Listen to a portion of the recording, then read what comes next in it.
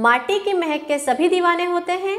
अगर भोजन तैयार करने के लिए बर्तन भी मिट्टी के हो तो बात ही क्या?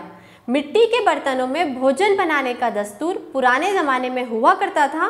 तब मिट्टी के तवे पर सिकी रोटियाँ और हांडी में पकी दाल और सब्ज़ियाँ भोजन का स्वाद चार गुना कर देती थी। वर्तमान के स्टील से निर्मित बर्तन के युग में अगर मिट्टी के बर्तन नज़र आ जाएँ तो शहरी क्षेत्र में कौतूहल का विषय हो जाता है। खंडवा शहर के पुनासा रोड सहित अन्य स्थानों पर राजस्थान से आए लोग इन बर्तनों को बेचने के लिए आए हुए हैं। इनके पास बच्चों के खिलौने से लेकर मिट्टी से बने तवे, गिलास, चाय के कप और पानी की बोतल आदि लोगों के आकर्षण का केंद्र बने हुए हैं। राजस्थान के बूंदी ज़िले के नेनवा क्षेत्र से आए राधे श्याम ने बताया कि मिट्टी से बने बर्तन और दीपक वे गुजरात से लेकर आते हैं और बच्चों के लिए खिलौने और ट्रैक्टर आदि वे पंजाब प्रांत से लाते हैं। इनकी काफ़ी डिमांड रहती है। उन्होंने बताया कि वे हर साल यहाँ आते हैं।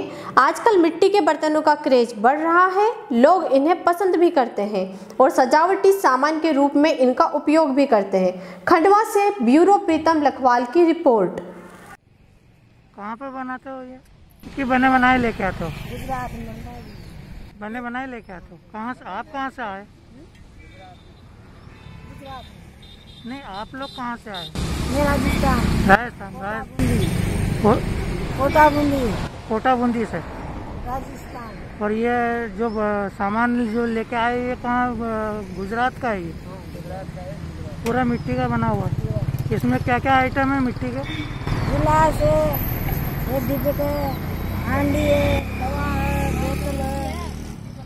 गिलास और ये कप भी इसके मिट्टी है क्या? मट्टी का मट्टी का। अच्छा। हेलो फ्रेंड्स आप देख रहे हैं हमारा channel S W twenty four news हमारे सारे वीडियो सबसे पहले देखने के लिए आप हमारे चैनल को सब्सक्राइब करें और पास में लगे बेल आइकन को दबाना बिल्कुल भी ना भूलें।